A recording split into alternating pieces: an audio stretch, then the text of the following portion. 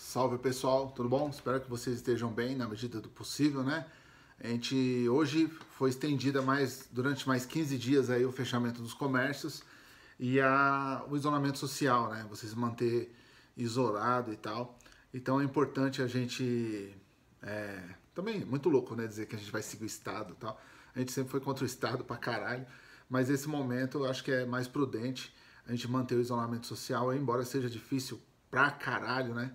E tem hora que enche o saco mesmo, né? Tem hora que o, que o bagulho te pega, né? Te pega e você fica você fica pensando, né, que, que tipo de mundo é esse, né, que a gente tá tá passando. Mas tem as coisas boas também, e é para isso que eu passei aqui para falar com vocês hoje. Eu tô aqui na Selo Povo, na editora nossa, né?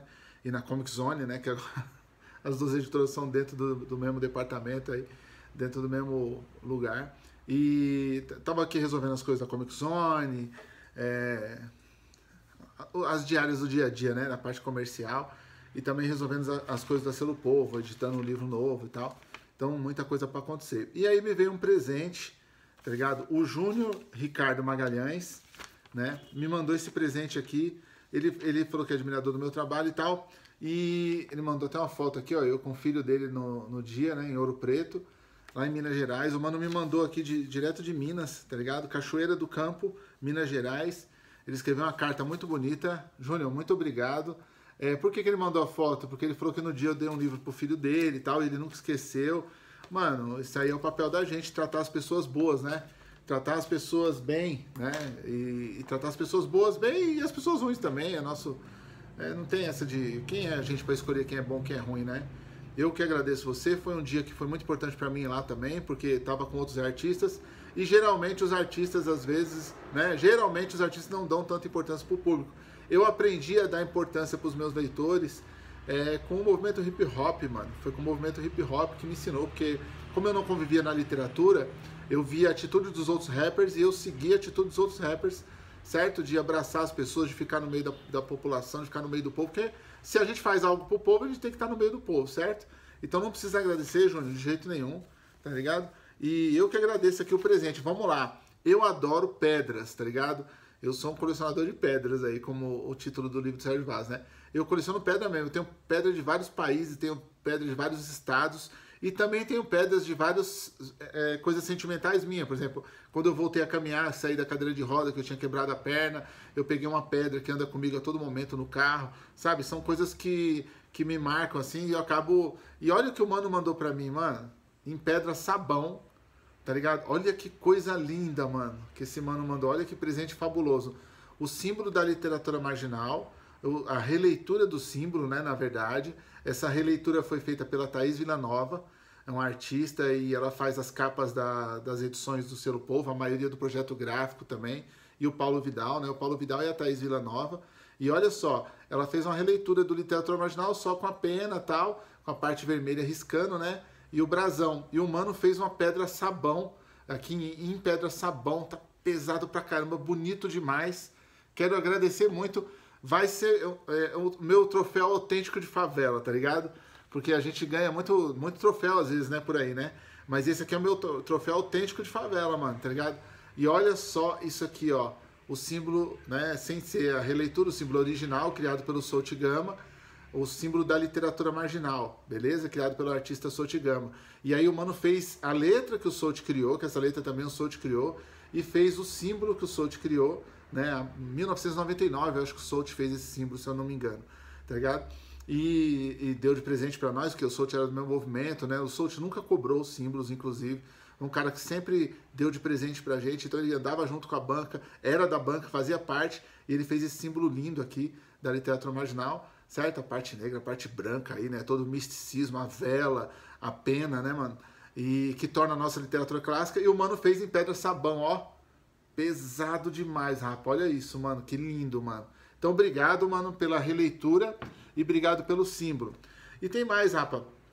Muitas pessoas que acompanham meu canal às vezes comentam, falam, pô, você sempre fala o nome de muita gente, você traz sempre muito, muitos nomes e tal. Eu, esse dia eu estava falando com um artista que é excepcional e é essencial, na verdade. A palavra é essa, é essencial você falar o nome das pessoas que criaram as coisas, rapa.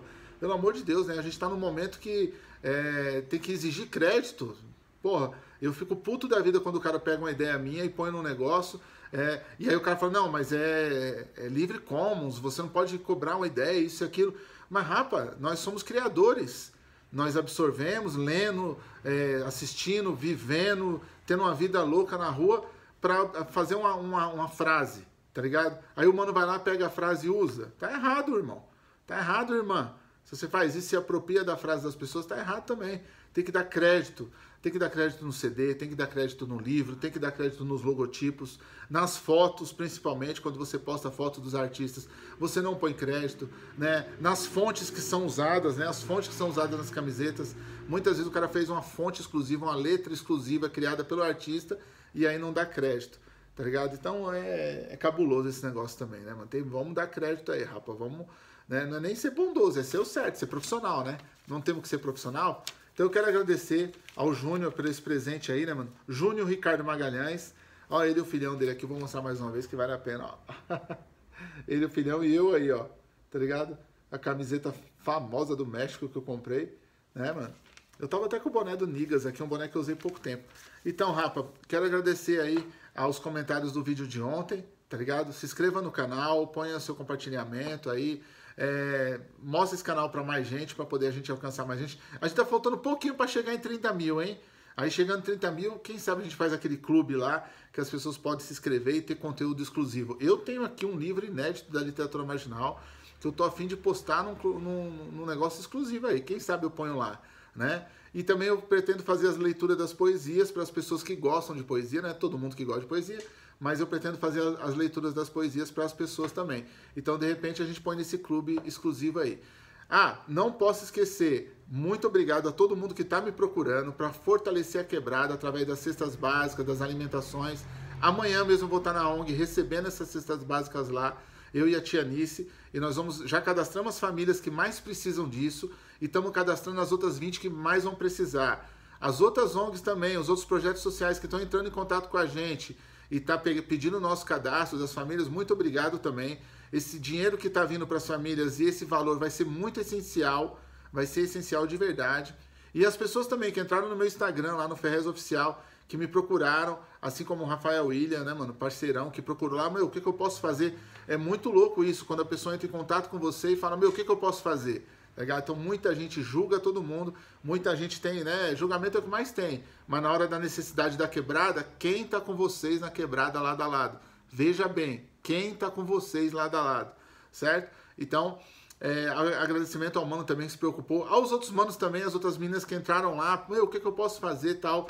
O Rubão, que é aqui na, na divisa de Tapsirica, com as filhas dele, que são candidatas do PSOL aí. O pessoal é foda, mano. Eu rodei, rodei, rodei, tem que falar do pessoal, porque é um monte de gente envolvida do pessoal que se preocupa, tá bom? A candidatura do Toninho Véspoli também, beleza? Do, do, do, meu parceiro que tá sempre me clicando, tá ligado? E sempre se envolvendo e ajudando de alguma forma. Então, a toda a, campanha do Toninho Véspoli também, tá ligado? Que tá, tá se envolvendo nesse momento difícil da gente aí. Quero agradecer. Agradecer o, o Guilherme Boulos tá ligado? Foi meu candidato a presidente da República aí, que tá vindo pro Capão amanhã, inclusive, para poder fazer essa coisa também. Ou seja, rapa, quem se preocupa de verdade com o povo, tá misturado, tá junto, tá coligado de alguma forma.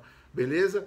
Espero que vocês estejam bem. Apoiem as campanhas locais que tem na sua região. Não precisa apoiar a minha. Se você tem uma campanha próxima lá, apoia a de vocês tá ligado? Fortalece, divulga, que nem agora a gente está apoiando a campanha de Campinas aí, né? A Campinas, Campinas se juntou, vários, vários caras ali, várias minas se juntaram para fazer uma campanha bonita também. Então é um momento que a população vai